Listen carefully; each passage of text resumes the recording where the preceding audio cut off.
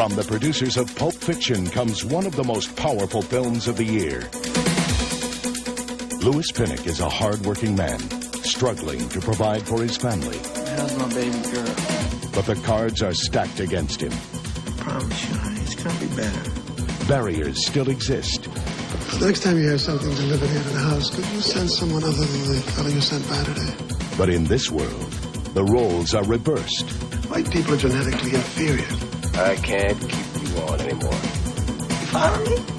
So when Louis is unfairly fired from his job, Well, tell him that I, I just lost my job at the factory and I need to I need to talk to him. It's important. I don't get involved in these matters. he decides to get even the only way he knows how. You know who I am. Toe line, look out me. Put your hands up. That's what this is about. You can straighten this whole thing out. Now you want to help me? Now I got a gun. You got all the time in the world.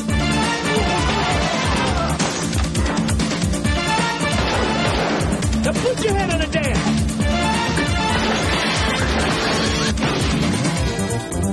HBO Home Video presents John Travolta and Harry Belafonte in White Man's Burden.